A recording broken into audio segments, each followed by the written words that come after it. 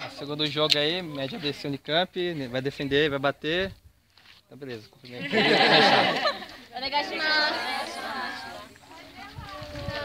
Vamos bater, menino.